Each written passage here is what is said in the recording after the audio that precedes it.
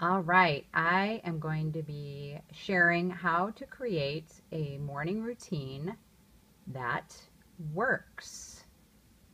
If you have a good morning routine, your whole day can go so much better. Hello, Scope Insider. Welcome.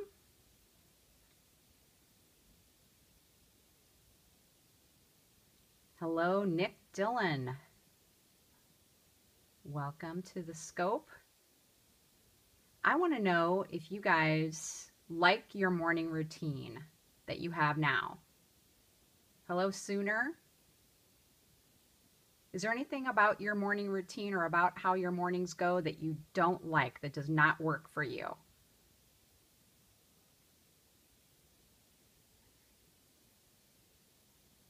Maybe their morning routines work great. okay.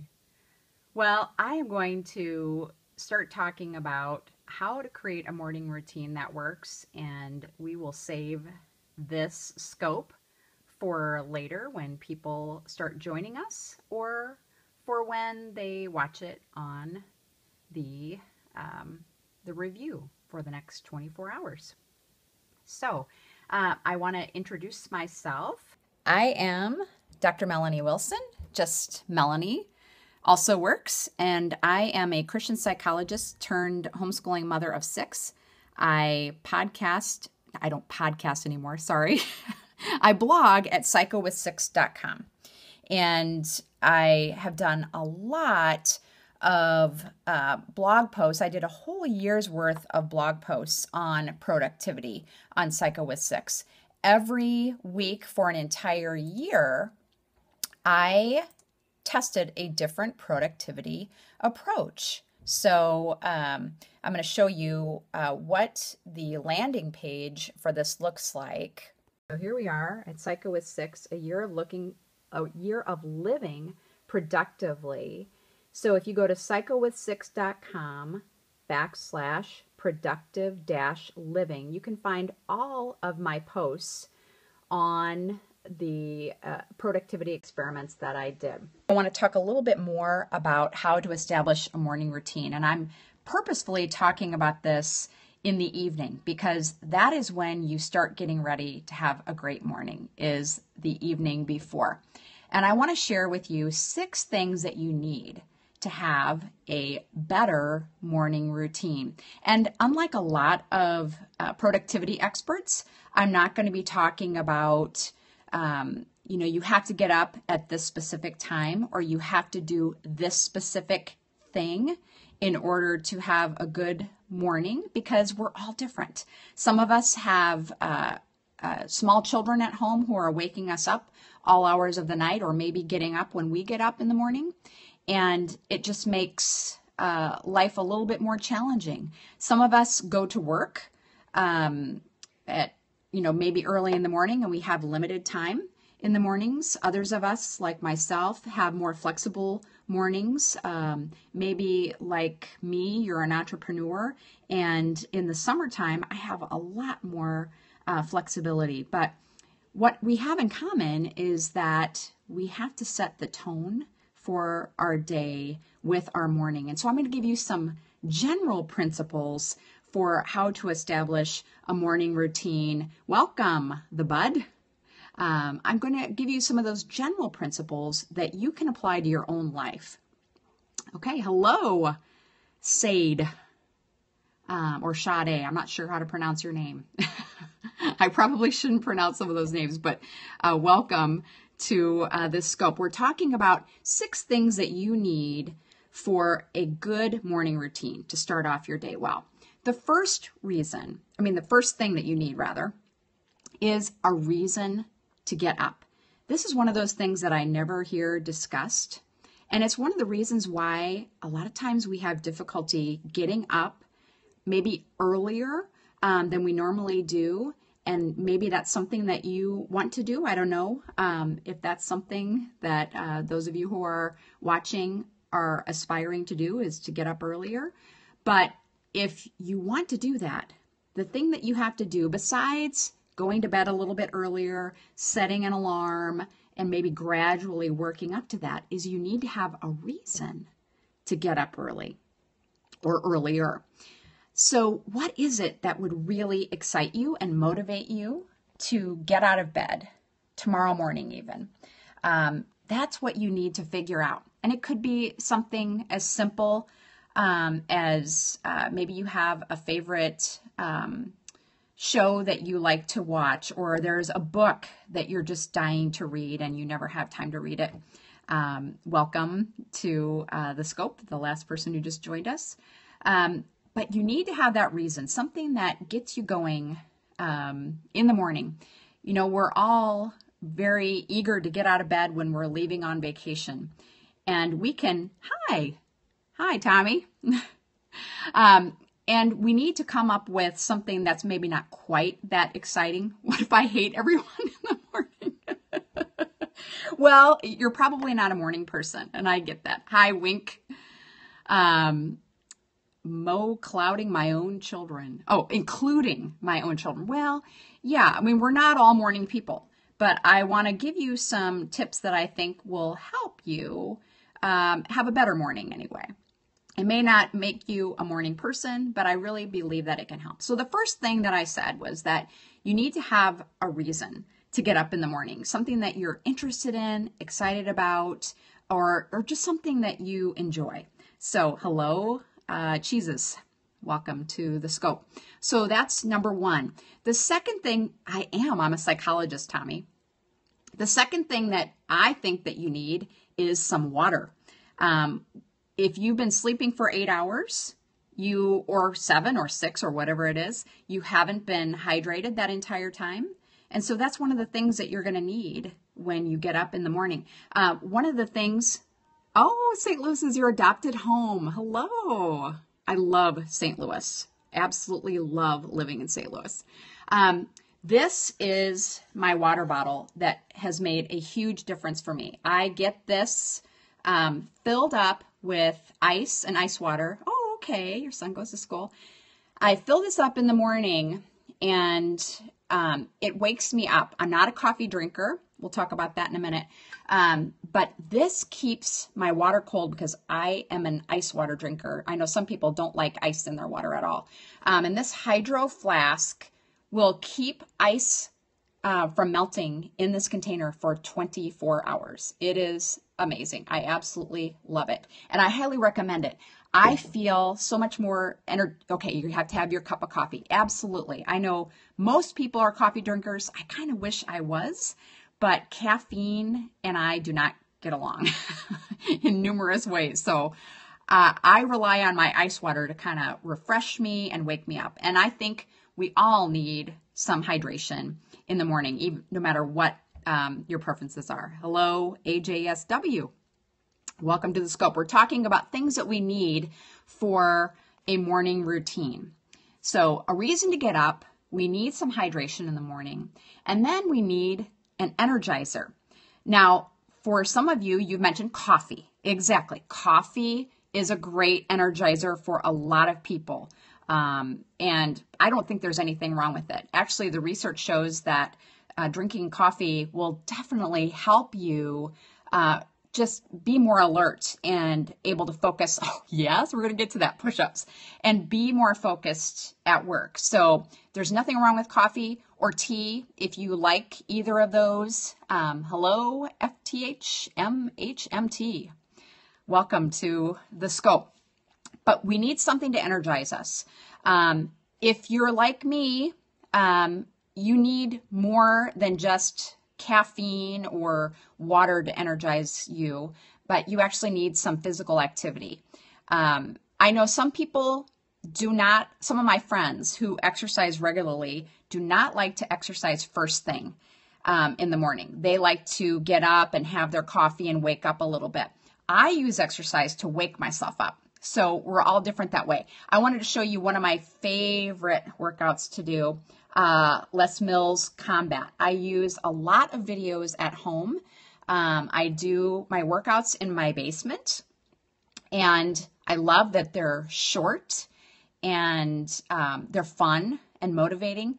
But I also love to go to the gym and lift weights. And even better than that, for days when I'm feeling draggy and low energy, I love to go for a walk outside. Just a nice walk and listen to um, music.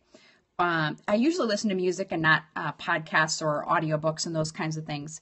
But it is amazing the difference that that will make um, in your morning. You need something to energize you for your routine. I don't know how how about you guys? Are you um, morning exercisers, or do you prefer to exercise in the afternoon or evening, or you don't exercise? Okay, no no comments on that. That's all right.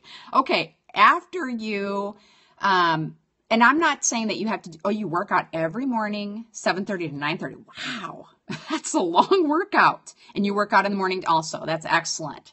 That's excellent.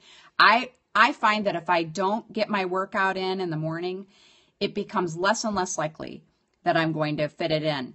And my morning workout gives me that energy that I need for my whole day.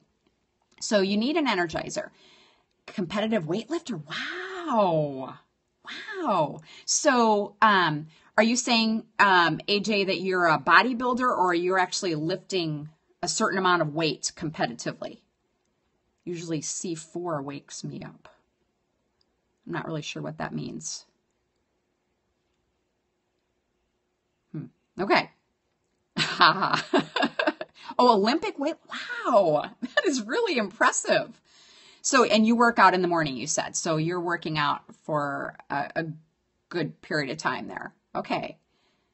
C4 is a pre workout. Okay. Okay. All right. Well, the other thing that I think we need to have a really good morning routine that sets us up for the day is some inspiration. Um, I'm a Christian, so my inspiration really comes from spending time in God's Word and in prayer. Um, my current Bible that I'm reading through right now is the, uh, here, just a second. Hello, Luca. This is the John MacArthur Study Bible all I do is read um, just two pages a day. I read just two pages a day and I read the study notes at the bottom. And it's amazing. And I, I get so many more insights. I've read the Bible through a number of times before. Hello, Al. Um, but I love having that inspiration of just reading reading that. And then I spend some time in prayer. I have a prayer app on my phone that really helps keep me focused and directed. But um, maybe you don't have time for that, you think. Um, and you know, you maybe you just want to do like a quick little devotion. I love this devotional by Bill Bright uh, called Promises. Um, I have a sister in law who is a missionary who knew Bill Bright personally, and it's an excellent, excellent devotional. You could listen to devotionals on your way to work, however, um, you could listen to them while you work out. Um, so there are a lot of ways that you can get inspiration. If you're not a Christian, then you need to find some inspirational materials, things that you can enjoy, either audio or um, written that you can enjoy in the morning to really help you stay focused on what's most important in your life in the morning. Okay, so that's inspiration. The fifth thing that we need for our morning routine is some sense of accomplishment. The most important um, time of day for me to get things done is in the morning. Hello, Lunker. Um, if I if I spend my morning just sleeping in and I don't um, do anything that I feel proud of, um, I tend to kind of waste the rest of my day. So for me, the morning is the time when I really focus on my most important goals. Um, I'm working on a homeschooling curriculum, so I make sure that I spend writing time right after I work out, um, writing on that curriculum. That is my most important thing. And I feel like if I did any writing then, I've accomplished what's most important to me. Of course, that's going to vary for all of us. Um, maybe it's just, you know, knocking out some things that you have been procrastinating on. Maybe it's decluttering. Um, whatever it is, makes your whole day just drag when you oversleep. Isn't that the truth? And I have really been struggling with that, AJ, um, this summer because um, our whole household tends toward the night owl, um, you know, characteristic. And so people have been staying up late and then we're sleeping in late. And I hate it. And I, I am determined to get back to my normal morning routine, even if I adjust it an hour later. Um, because it, it makes such a difference. When you get the most important things in your day done first thing, you can feel great, even if something happens to interrupt you.